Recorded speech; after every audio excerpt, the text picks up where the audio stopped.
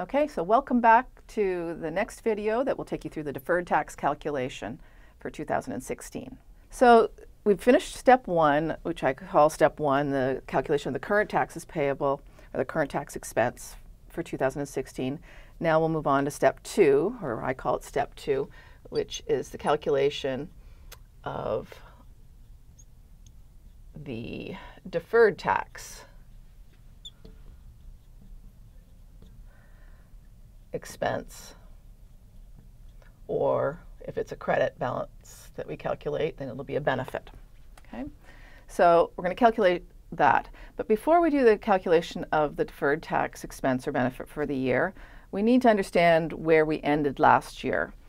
And so based on the facts that we were given in this situation, I didn't actually give you the deferred tax asset or liability balance that we had at the end of 2015. We need to know that figure in order to finish the 2016 calculation of the deferred tax expense. So let's calculate our uh, 2015 deferred tax asset or li uh, liability balance based on the facts we were given, and then we'll use that information to move on and do the step two calculation for this year. So at the end of last year, so in 2015, we have to take a note of what were all the timing differences that we had. So what were all the timing differences that we had at the end of last year? And in the facts the question that I gave you at the beginning of uh, this video, there was some property, plant, and equipment assets. So they're depreciable assets, so we call them. And those were, uh, had a timing difference. And we knew they had a timing difference because of the balance sheet values. So the balance sheet or the statement of financial position values. Um, we'll call NBV, or you could call this a carrying value. You can call it whatever you want to call it, but it's whatever the value that is on the balance sheet, that's the value we want to take note of here. And the value that I gave you at the beginning of this question was $40,000 was the net book value of the property, plant, and equipment. But for tax purposes, the value was at $25,000. So these two values are different, and the difference is what has created a timing difference. So in prior years, we've depreciated this asset down to $40,000 for accounting purposes, but for tax purposes, we've managed to depreciate it down to $25,000. So in effect, we've taken an extra $15,000 of tax depreciation versus accounting depreciation. So we've got more tax depreciation because we brought the asset down to the $25,000 value. So uh, the difference between the tax base, usually your base or basis is usually the, com the comment there, and the balance sheet base or accounting value is what we'll call the timing difference. Okay, so I usually set this chart up, again, this is just rough work, so you can set it up in any way you want to. I usually set it up though that if the, if the balance sheet value is a debit, then I'll show it as a positive number, and if the balance sheet value is a credit, I'll put brackets around it. So obviously a property, plant, and equipment net book value is a debit balance, so I've got it here as a positive number. For tax purposes, it's $25,000. For accounting purposes, 40. So 25 minus 40,000 gives us a credit figure of $15,000. So what does that mean?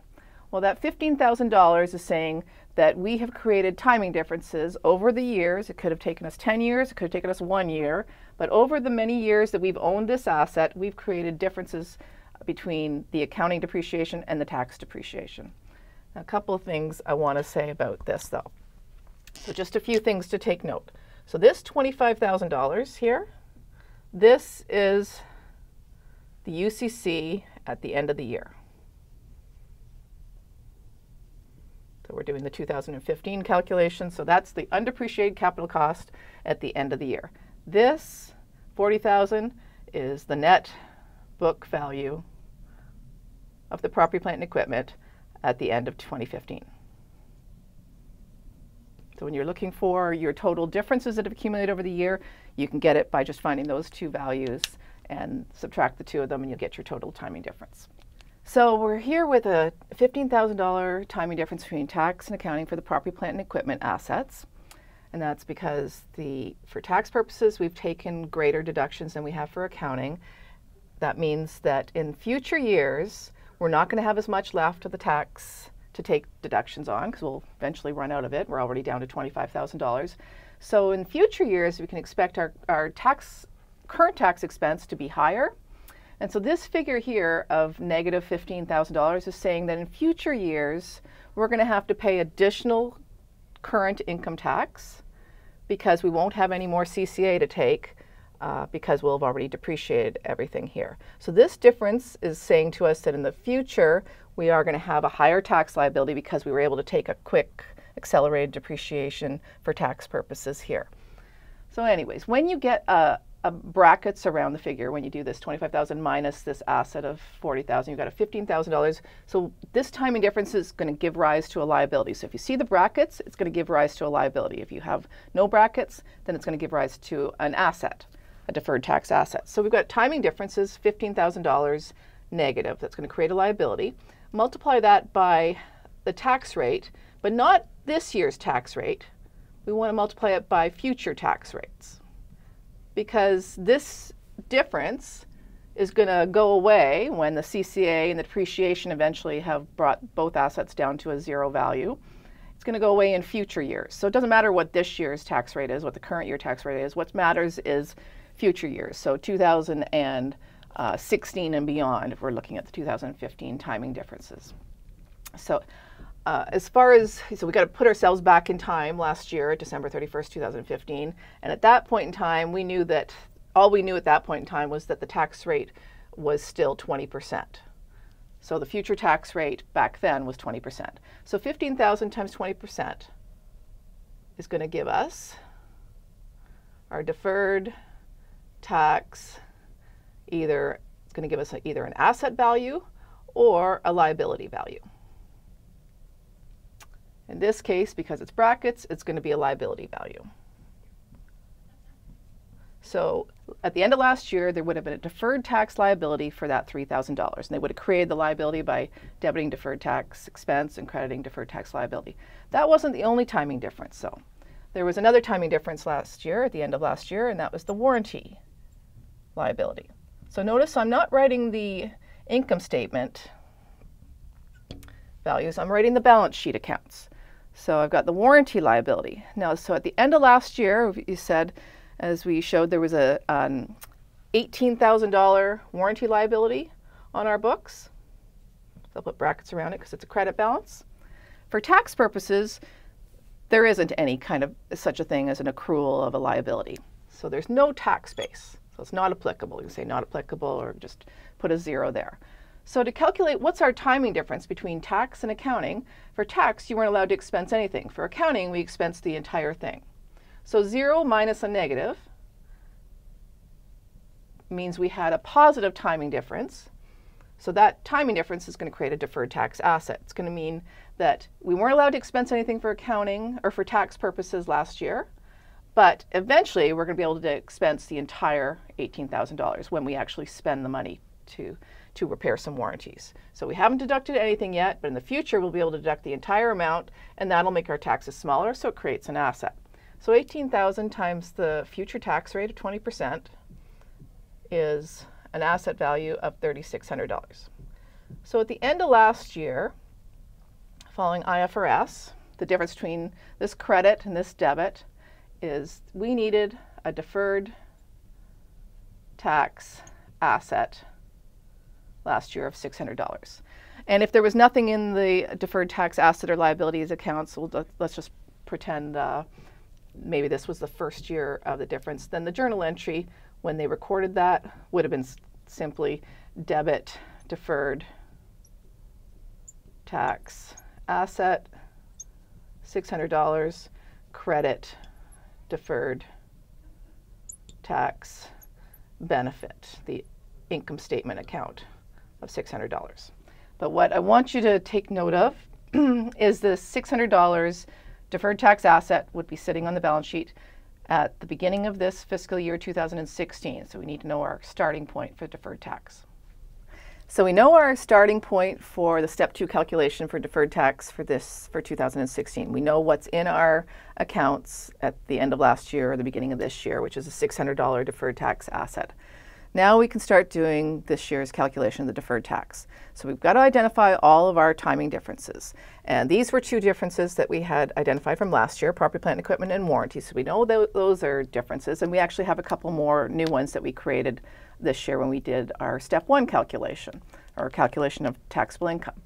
So let's start with the property, plant, and equipment line. As we talked about before, the tax base number is going to be the undepreciated capital cost allowance value at the end of 2016. And the accounting base balance is going to be the net book value at the end of 2016. So these two figures, we picked those up. Um, so this one, as we talked about before, is the UCC at the end of 2016. And we get to that figure by going the beginning UCC balance was uh, $25,000. So that was the number at the end of last year. Then we had um, CCA that we took for 2016 of $3,000. So we've got an ending UCC balance of $22,000 this year. And for accounting purposes, we had uh, net book value at the end of 2015 of $40,000. And then the depreciation expense for 2016 was $2,000. So we ended up with a net book value at the end of 2016 of $38,000. So that's where those two figures are coming from. So to figure, finish off the deferred tax effect calculation on property, plant, equipment, we've got $22,000 of tax base minus the net book value of $38,000 leaves us with a timing difference of $16,000 at the end of 2016 times the future tax rate. Now, in the original facts I gave you for this question, we said that the tax rates for 2017 and beyond are known to be 15%.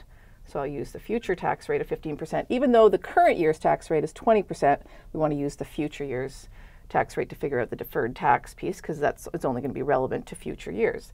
So 16,000 times 15% is a deferred tax liability is needed related to the property plant equipment of $2,400. The next one, which was a carryover from last year, uh, was the warranty liability. So now we've got a warranty liability of only $9,500. And we have no warranty liability for tax because that doesn't make any sense. You would never accrue a liability uh, for tax purposes. So how did we get this value? Well, we'd just get it off the general ledger account if we had access to it. But just how did we get to that point? Well, we had uh, a warranty liability at the end of 2015, if you remember, of $18,000. And we spent in 2016 $8,500. So the remaining warranty liability balance at the end of 2016 is only $9,500. So the warranty liability timing difference is zero minus a negative number creates a positive number of $9,500. So this timing difference is going to give rise to a deferred tax asset. So times the future tax rate means we need a deferred tax asset for this remaining $9,500 timing difference of 1425. Okay, so that's the two timing differences that we also had last year, but we created three or two more timing differences this year. We have a restructuring liability, if you think, if you look back to the temporary differences in uh, the step one current tax calculation, we had a restructuring liability that we were not allowed to deduct for tax purposes. So for accounting purposes, the value is a $10,000 liability. But for tax purposes, there's nothing recorded. You're going to find that most things in the timing difference tax base column are going to be zero for anything that's related to an accrual. So an accrual of an expense or an accrual of a revenue. There's no such thing as accruals for most tax situations. Most of the tax uh, law is based on kind of cash accounting. So that's why there'd be nothing really accrued, no receivables and no liabilities. If you've got an asset, there certainly would be you know, tangible assets have a tax base and investments have a tax base. But when we're talking about liabilities and receivables, they usually don't have a tax base. So the restructuring liability zero minus the negative number creates a positive number. So we need a deferred tax asset for related to this restructuring liability that was not deductible this year, but in the future years we can deduct it for tax purposes. So we'll make our taxes smaller. So that's why this is going to create a deferred tax asset. So 10,000 times the future tax rate equals a deferred tax asset is needed of $1,500 on this item. And then the fourth uh, and the last timing difference we've got for as at the end of 2016 is our rent receivable. So we had accrued rent of $6,000. So we had a receivable sitting there on our balance sheet, nothing accrued for tax purposes, so there's no tax base value. So zero minus an asset is going to create a negative $6,000 timing difference times the future tax rate says that we need a deferred tax liability of $900. And that would make sense because in future years, we're going to have to pay tax on this $6,000. Remember, we didn't have to pay tax in 2016 because we didn't collect the money yet. But it, next year, when we get the money from our tenant, we will have to pay tax on it. So that's going to make our taxes higher next year. And the amount that it's going to make it higher by is this deferred tax liability of $900. So adding up all these deferred tax uh, assets and liabilities that we've got here, under IFRS, we can just calculate the, the net value. We've got a net 375 deferred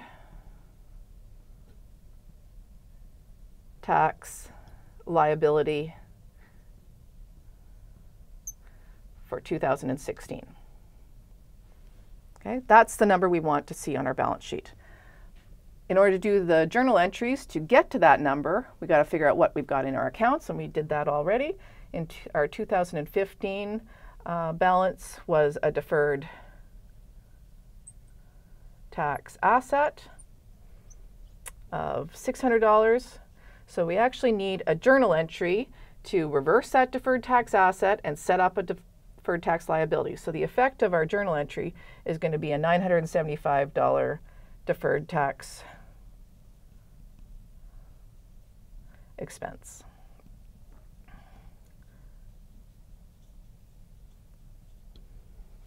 Okay, thanks for watching. We've just concluded the deferred tax calculation, step two, as I like to call it. And when you're ready, you can move on to the next video, which will wrap up the journal entries and the income statement and balance sheet presentation.